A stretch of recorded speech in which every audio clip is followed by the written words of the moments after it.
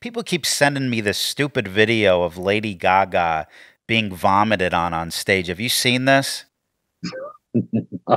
Yeah. No, I haven't seen the video. I mean, how did she get vomited on? Like it went up on her, like from the from the audience on stage in an arena. Uh, I'm just wondering though if you will be recruiting her for the next Jackass film because I, I feel like she was trying to audition.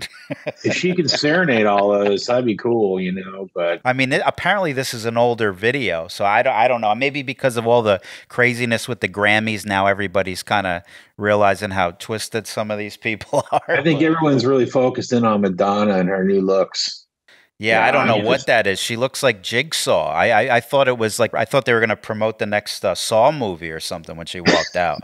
Man, I I, I feel it's, it's kind of sad because she was like really pretty, you know, and uh, like I don't know what she's doing, and it's obviously she's uncomfortable with how she's aging, and uh, she should just chill out and be happy, man. She was cool. She was did a lot of great things.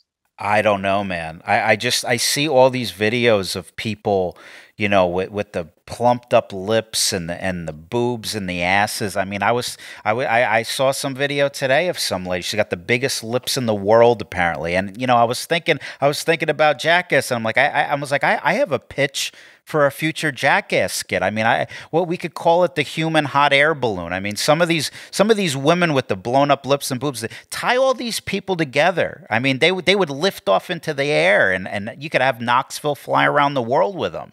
I don't know if you'd want to.